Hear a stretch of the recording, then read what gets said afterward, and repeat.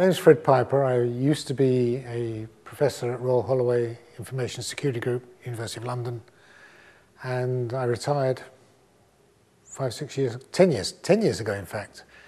And I was a founding board member of IISP and was on the board up until last December, I guess. Well, I've always run a consultancy company since 1985, and at the moment I'm helping GCHQ with their standards for assessing MSCs in cybersecurity. I used to be a maths professor, um, doing pure mathematics. Then I got interested in cryptography, and then I was sent to Royal Holloway to set up a discrete mathematics group there, and um, we drifted in, drifted, I mean literally drifted into cryptography. And then we were asked to set up an MSc in cryptography and I thought it was too narrow. So I decided no. And we recruited to get some more general information security people. And don't ask me the difference between information security and cybersecurity or information assurance and cybersecurity because I don't know. Um, they're just all words for the same thing as far as I'm concerned. At the moment, the popular press is almost as good a place as any, in the sense that everything's happening so fast and everything's changing that there's almost a disaster every week. So people cannot be aware, cannot help but be aware of cybersecurity now. Oh yes, um, but maybe um, I think the trend is going to be away from cybersecurity specialists and more into more people knowing some security. So most business degrees, most STEM degrees will have some cybersecurity in them now, or will in a few years' time.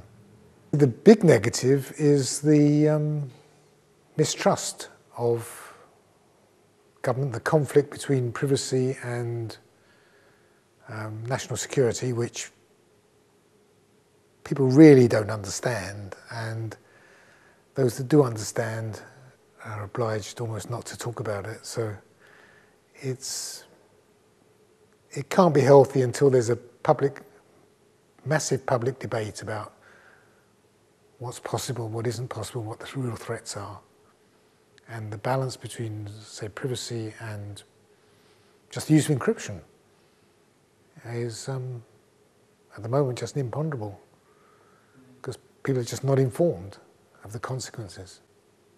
So, I mean, so just follow up on so what, what do you see are the sort of the immediate dangers then that we face? Well, the immediate dangers are you've got, on the one hand, the security agencies saying, well, we need to basically be, be able to understand all communications between everybody in case they are bad. The um, privacy people are saying, no, that's an invasion of our privacy. We're good people, trust us.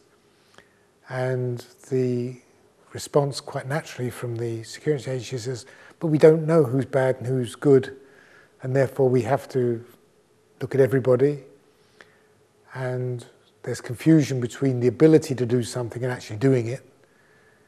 So my personal view is I want them to be able to understand all communications, but that doesn't mean they have to decrypt all communications they intercept.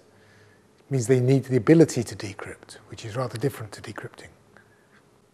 The IISP is there because it's a cybersecurity is a relatively new profession. It needs a sound base that the government and everybody's realizing that just like all other subjects, there are charlatans as well as experts. So there's a need for badges that distinguish the competent from the incompetent in all areas, just like medicine and so on. And the institute is there to establish competence or to be a, a badge that says these people are not just know what they're doing, they've done it. Universities are there to say people know what they're doing, and that's not quite enough. So the Institute adds to the education program by saying It's not just that they know what they to do, but they've actually proved they can do it.